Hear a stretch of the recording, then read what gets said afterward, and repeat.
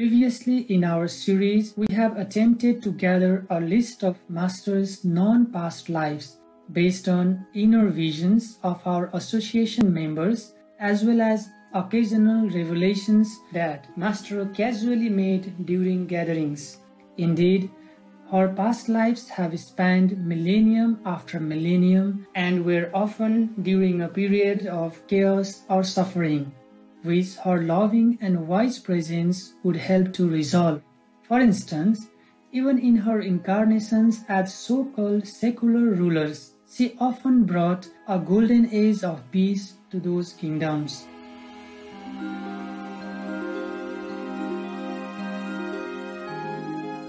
Some of Supreme Master Ching Hai's known past incarnations in chronological order.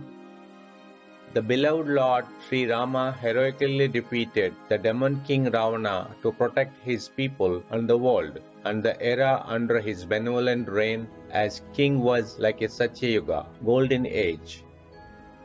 The worshipped Kuan Yin Bodhisattva was divinely granted a thousand arms and a thousand eyes, invisible physically, to fulfill her vow of rescuing all those suffering and in need of aid. Enduring extreme bodily sufferings due to humans' ignorance, the venerated Master Lord Mahavira traveled barefoot all around India to spiritually awaken and uplift humans of all classes, genders, etc. The venerated Master Lao Tzu brought forth the enlightened Taoist philosophy which has since had a deep and far reaching influence all over China, Asia, and the world. The worshipped Lord Jesus Christ came like a brilliant light in an age of darkness and sin, inspiring countless people to live compassionately.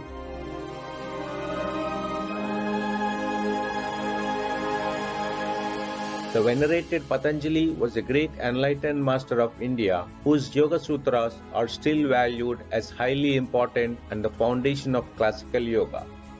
During an era of turmoil, the legendary King Arthur successfully protected and united Britain, bringing peace and prosperity to the land.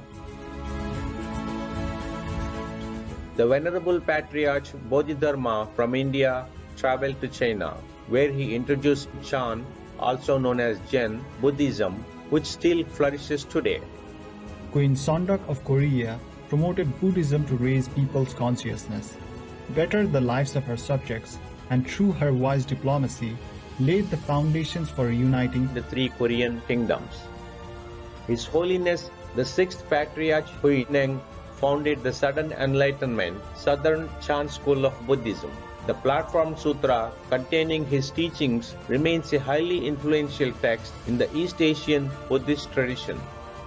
The venerated priest king Quetzalcoatl abolished cruel practices such as human sacrifice, and through his ingenious contributions, inaugurated a golden age for the Toltec civilization.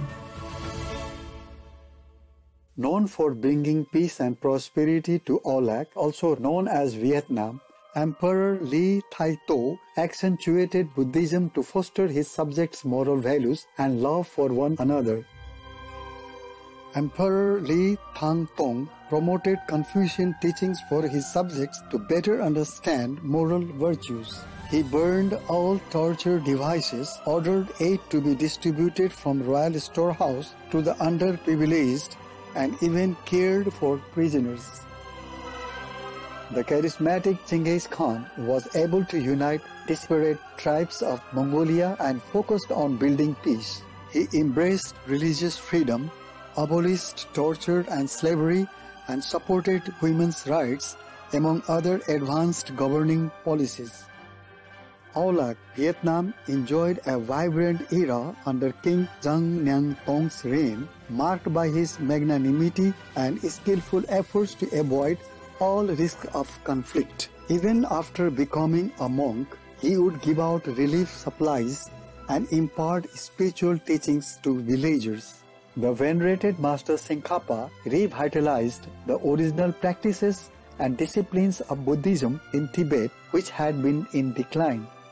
King Sejong the Great created the Korean alphabet to empower the masses and strengthen the nation's identity. During an epidemic, he set up a relief program, personally wrote a detailed prescription for preventing sickness, and had it posted all over the kingdom. This sounds much like Master's loving response to the COVID 19 pandemic as she donated funds for the most vulnerable and asked us to share her preventive tips with the public.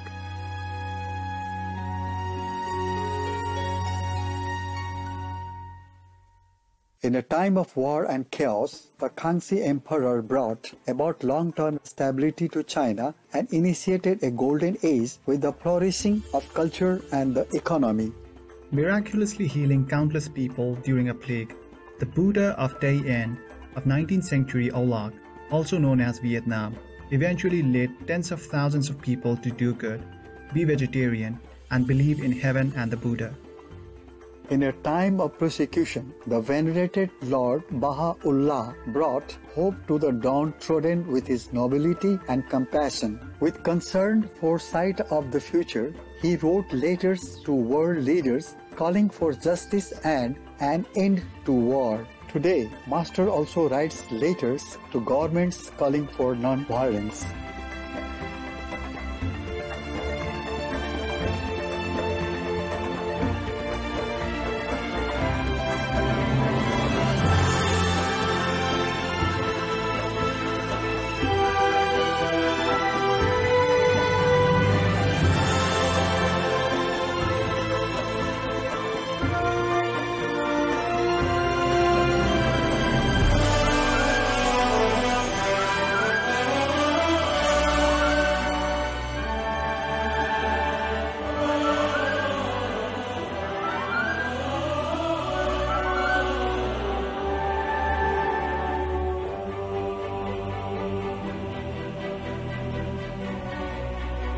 Etc. Crowned during tumultuous times, the beautiful Empress Elizabeth Sisi played an important role in the peaceful union of Austria and Hungary. She was seen as an angel of mercy, tirelessly helping the needy and comforting the wounded soldiers, etc. The beloved King Chulalongkorn of Thailand abolished slavery, modernized the government, and advanced the economy. Thanks to his superb statesmanship, Thailand was the only Southeast Asian country to never be colonized. The venerated Master Baba Sawan Singh Ji's spiritual messages brought inner peace to hundreds of thousands in India and around the globe, uniting people of all religious backgrounds.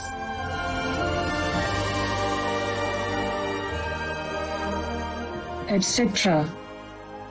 These were only some examples of these great beings' innumerable moving deeds, just to give an idea of how Master uplifted humankind wherever she incarnated.